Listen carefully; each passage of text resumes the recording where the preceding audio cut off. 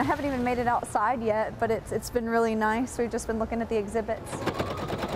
The community needs somewhere to showcase what they have created.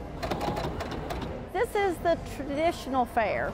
Fairs were started so people could showcase what they had grown, what they had created, or what they had cooked. I went and looked at the cakes. I mean, it, it all looks really good to me. We were actually going through and just looking at the art section, and I, it's really great stuff. I would say the, the sunflower was pretty big. That was that was the tallest, the best of show sunflower over there. That was the tallest sunflower I think I've ever seen.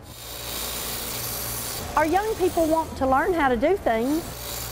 They're very fascinated on how I'm able to cut out on the saw and uh, uh, very interested in learning how to. So we have these people set up. They can come and watch them doing their craft.